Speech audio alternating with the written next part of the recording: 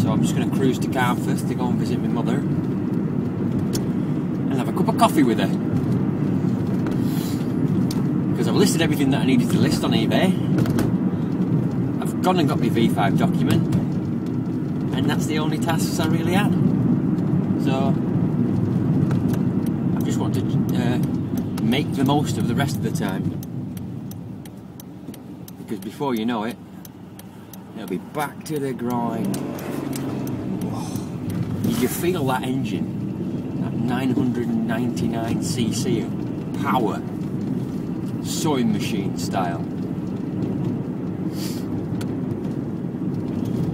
Just a constant grey. Really want like the sunshine to beam through so that it's warm and you can go out in a t-shirt and just feel the heat brings out the happiness in people.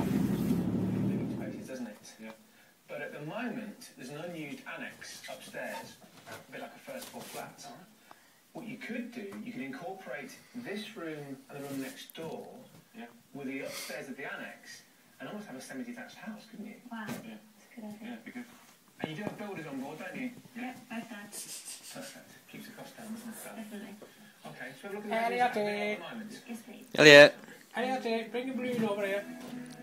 Go on, Salty, stay with you, Smithy. Common on this level with a boot room, a utility room and a downstairs Hey. shower room. Quite a change from